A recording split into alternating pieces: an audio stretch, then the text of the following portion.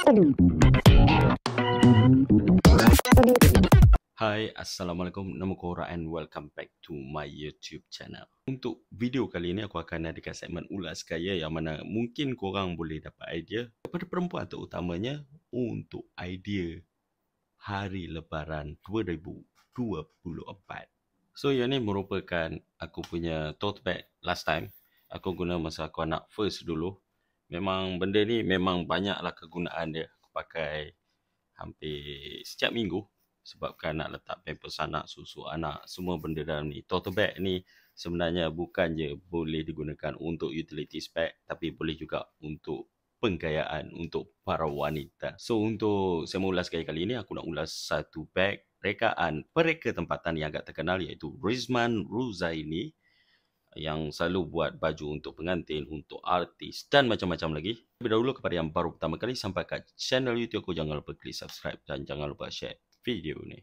So inilah dia kotak yang akan aku ulas dalam saya mengulas kali kali ini. Uh, kotak ni aku dah dapat lama dah dalam 2 minggu lepas.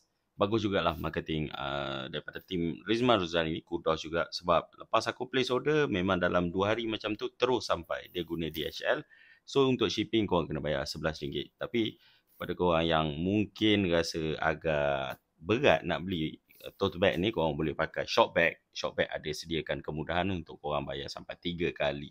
So bayanglah uh, benda ni lebih kurang dalam RM129 and then korang boleh pakai shop bag. So korang entitled untuk bayar benda tu 3 bulan. So bagi aku rasa taklah membebankan untuk student-student pekerja pun boleh pakai juga orang yang mungkin agak cermat dalam perbelanjaan korang boleh consider untuk guna aplikasi Shopback yang mana korang pun boleh dapat cashback juga.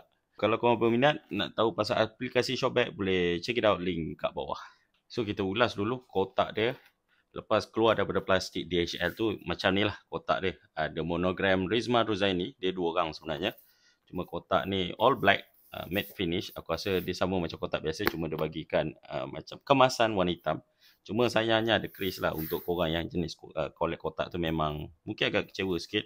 Dan dalam kotak tu dia ada komponen dia. Ada tote bag yang mana aku dah keluarkan.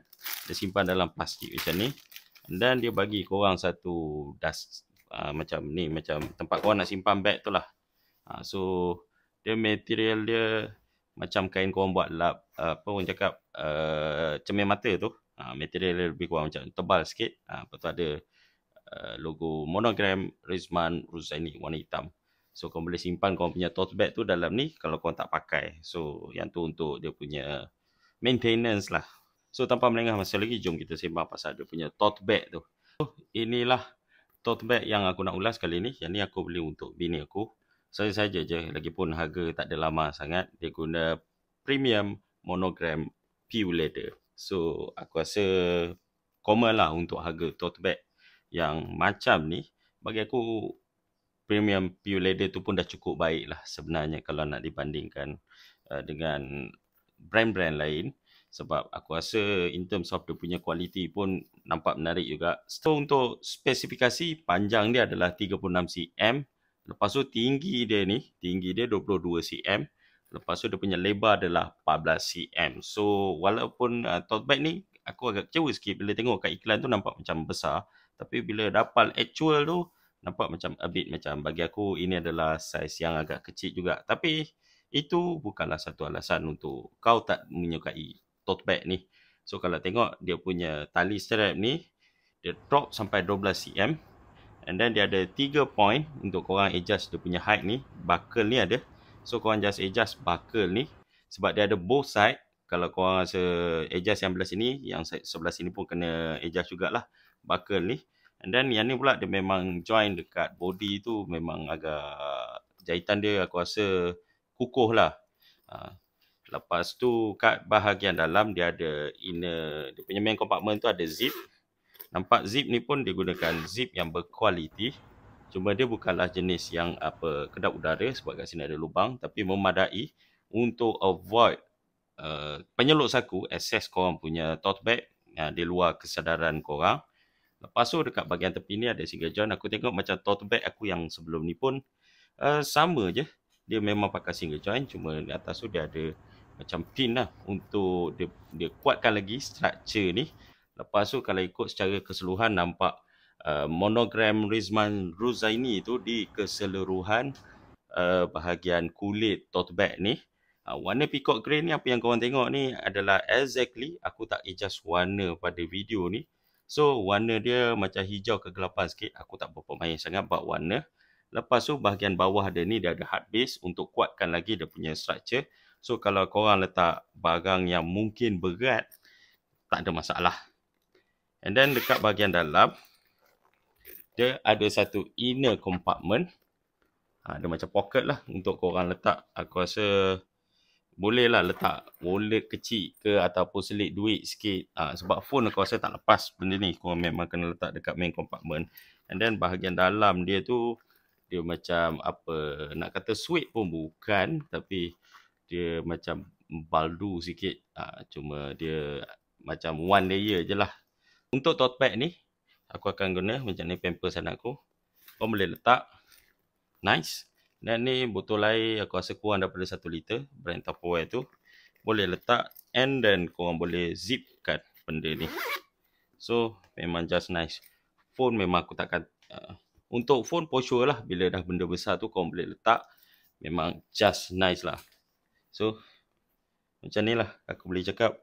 Dia punya design nak nak tunjuk besar tak besar tote bag tu benda ni adalah satu pembelian yang agak berbala lah untuk harga 100 lebih. Siapa nak bagi kan uh, korang dapat designer bag lagi. Lebih bagi aku agak menarik juga. Sebab harga bawah 200 kalau korang pergi beli pun dekat pasar raya pasar raya pun uh, harga sekarang average mungkin dalam 200 uh, ah, yang ni material dia bagi aku dia punya leather dia pure leather dia ni taklah keras sangat taklah lembut sangat memadai uh, warna yang dia bagi pun cantik and then finishing dia pun korang jangan bimbang yang dekat ujung ni.